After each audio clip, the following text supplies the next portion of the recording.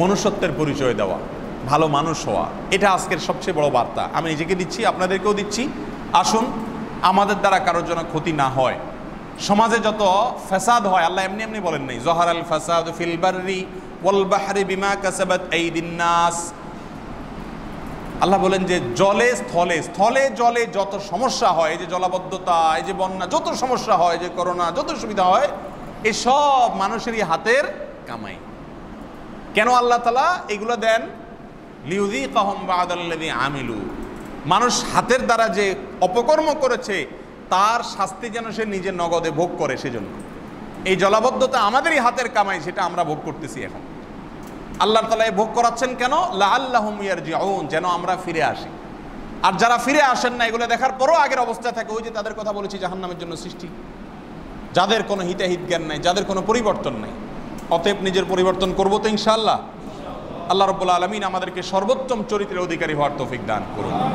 ভাইরা আমার, নামাজ, রোজা, হজ জাকাত যত আমল আছে, এগুলো ইসলামের মেইন রোকন হতে পারে। আরও অনেক আমল আছে। কিন্তু মিজানের পাল্লায় কেয়ামতের দিন যখন আল্লাহ তারা সওয়াব পরিমাপ করবেন, আল্লাহর সেই কুদরতি মেশিন কেমন হবে আমরা জানি না। সেই সওয়াব পরিমাপে বান্দার প্রতিটি কর্ম ভালো কাজ। আপনি একটা মানুষের দিকে তাকিয়ে একটা মুস্কি হাসি দিয়েছেন। হাদিসে আসছে তাবাসমুকা আলা ওয়াজহি আখিকা সাদাকা। তোমার ভাইয়ের মুখের দিকে তাকিয়ে মুস্কি হাসি দিলে এটাও সাদাকার সোয়াব এনে দিবে। কত বড় কথা। এটাও সৎকার সোয়াব এনে দিবে। আপনি এটা মুস্কি হাসলেন।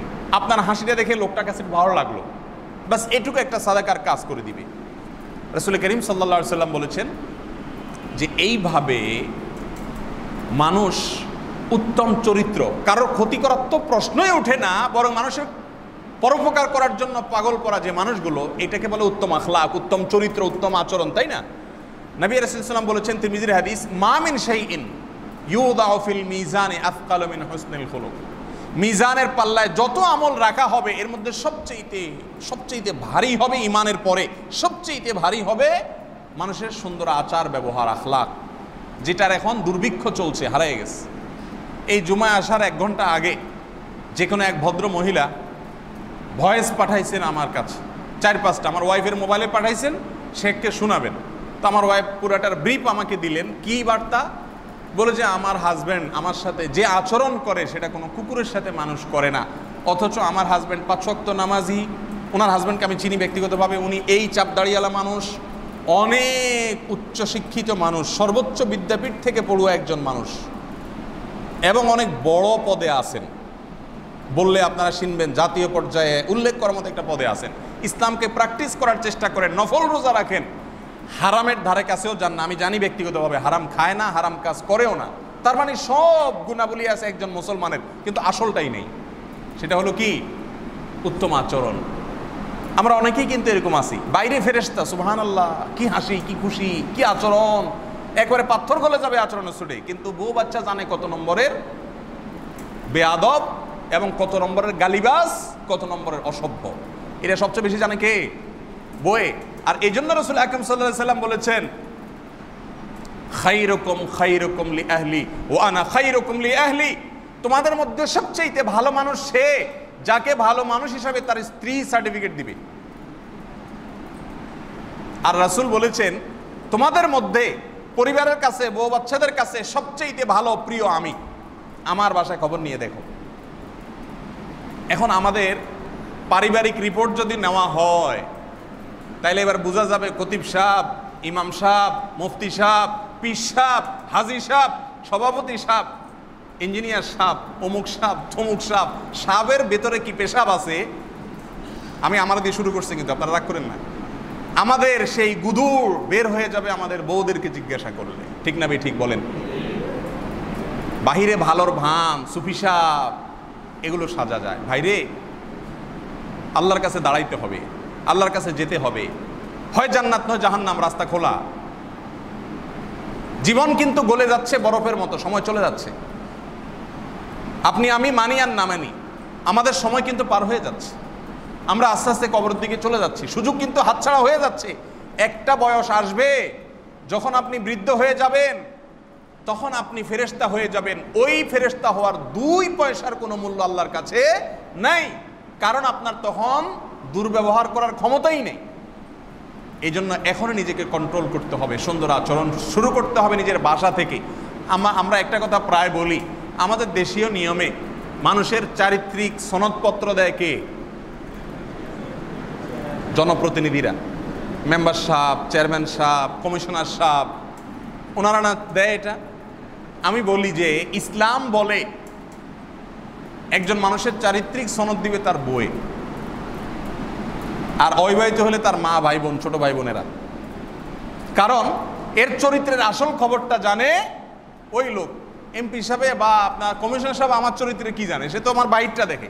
আমার আসল রূপ দেখে তো আমার বাসার লোকেরা। এই জন্য নবী সাল্লাহ সাল্লাম বলেছেন, যার বাসার কাছে, পরিবারের লোকদের কাছে যে ভালো, সে আসলে ভালো, তার চরিত্র আসলে ভালো। আর যে তাদের কাছে খারাপ, তারা সারা দুনিয়া সার্টিফিকেট যদি দেয়, একেবারে জাতিসংঘ যদি ঘোষণা করে এই লোক এই লোক ফেরেস্তা তারপরও সে লোক শয়তান। যদি তার পরিবারের লোক তারে, তার চরিত্র জেনে তার ভিত্তিতে যদি বলে সে শয়তান।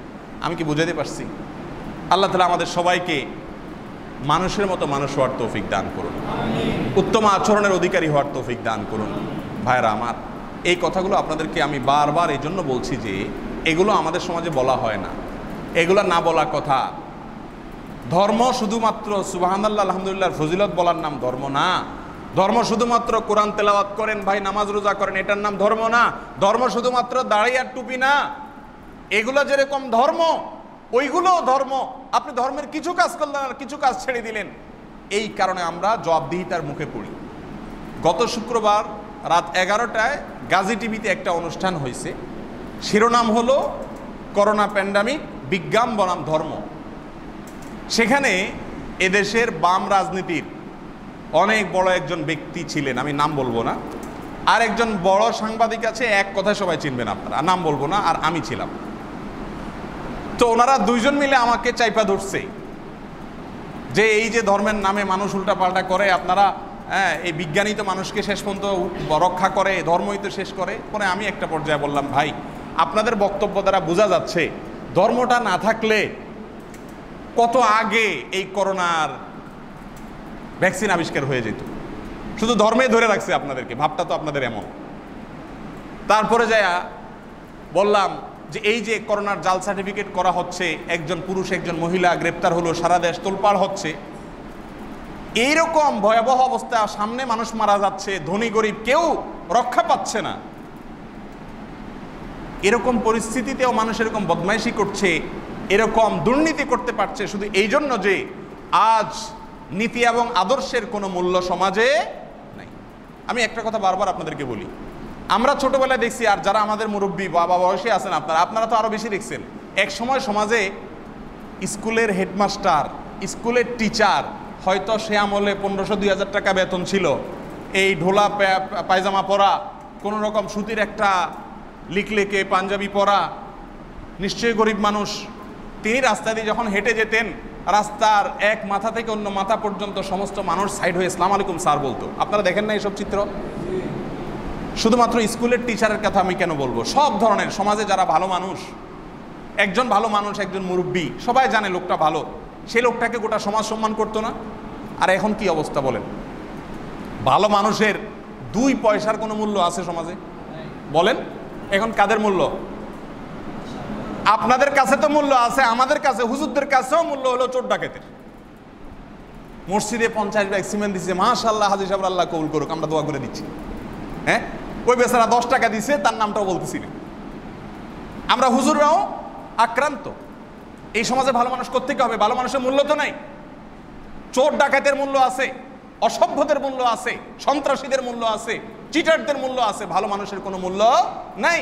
বাপমা পোলা পান্ডে শিখায় বাবা জিপিএ ফাইভ পাইতে হবে। এটা শিখায় না যে খবরদার মিথ্যা যেন কখনো না শুনি। শিখায় এখন বাপমা তাহলে সমাজে ভালো মানুষ কোথেকে হবে? এই সমাজে মানুষ মানুষকে খাবে।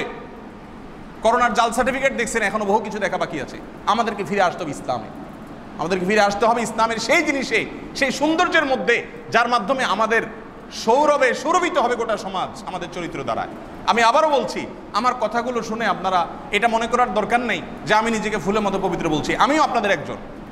আমি আলোচনা করছি যাতে আমরা সংশোধিত হতে পারি। আল্লাহ আমাদের সবাইকে ফুলের মতো চরিত্র ধারণ করার তৌফিক দান করুন। আমি যে কথাটা বলছিলাম, সেই কাজে টিভির টক শোতে লাস্ট কথা ছিল আমার যে উত্তম চরিত্র, নৈতিকতা, ধর্মচর্চা এগুলোর মূল্য এখন সমাজে নেই, সেজন্যই শাহেদ সাবরিনাদের তৈরি হয়। এটা আমি বলার পরে ওই ভদ্রলোক, গত শুক্রবার রাত এগারোটা কথা বলতেছি, টিভি প্রোগ্রাম গাজী টিভিতে, ওই ভদ্রলোক আমাকে পাল্টা, যেহেতু বামপন্থী, আমি এই ধরনের টকশোতে কখনো যাই নাই, তর্কাতর্কি, আজাইরা কাজ, আমি আমার আলোচনা করি, আপনারা জানেন।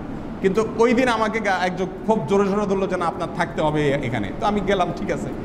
পরে ওই ভদ্রলোক আমাকে পাল্টা বলল আচ্ছা আপনি যে কাল বলতেছেন ধর্ম চর্চা করলে মানুষ, মানুষের মতো হবে মানুষের জাল সার্টিফিকেট করবে না, চরিত্র ঠিক হয়ে যাবে। এই যে মসজিদে এত মুসল্লি, ঠিক এই কথাটা বলছে উনি। আপনারা এখনও শুনতে পারেন হয়তো ইউটিউবে আছে ভিডিওটা। এই কথাটা বলছে আমাকে, আমি সেজন্য আপনাদেরকে বলছি। মসজিদ ভর্তি মুসল্লি জুমান নামাজে এখন আগে এত মুসল্লি ছিল না। কই, চুরি তো কমে নাই, চোরও তো বাড়ছে। তাহলে ধর্ম মানুষকে ঠিক করল কীভাবে? এই কথাটা যখন আমার মুখের উপরে বলছে, আমি বললাম, ভাই, আপনার সাথে আমি তর্কে যাব না, এটা সত্য কথা বলেছেন আপনি। আমি অস্বীকার করব না। আমরা নামাজও পড়তেছি, চুরিও করতেছি। আমরা দুর্নীতিও করতেছি, আমরা দুর্ব্যবহার করতেছি, মানুষের ক্ষতি করতেছি। এর মূল কারণ হলো, আমরা, আমি আমার দোষ দিচ্ছি, আমার দোষ।